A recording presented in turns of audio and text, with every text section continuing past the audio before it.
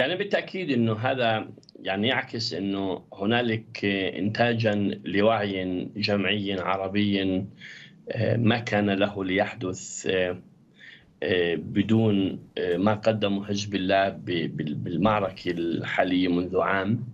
وإنه اليوم يعني أصبح وما يميز هاي الأحداث أنها بالأردن.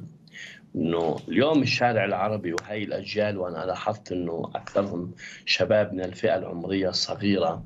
إنه اليوم هؤلاء الشباب بدأوا يعرفون وأصبحوا قادرون على التمييز من الذي يقف مع فلسطين ومع غزة ومع القدس ومع المسجد الأقصى. وبالتالي هذا الذي يزعج الأمريكي، هذا الذي له علاقة مباشرة بموازين القوى، هذه هندسة الوعي الذي لا يريد الأمريكي.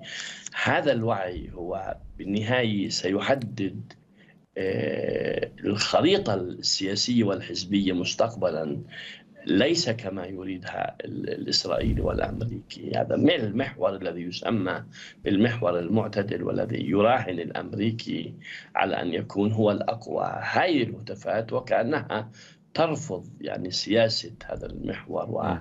وبات الإنسان العربي قبل الفلسطيني قادر على التمييز وهذا كما تحدثت ما كان له ليحدث دون الدماء والتضحيات التي قدمها حزب الله وآخرها استشهاد أمينه العام آه، السيد حسن نصر الله.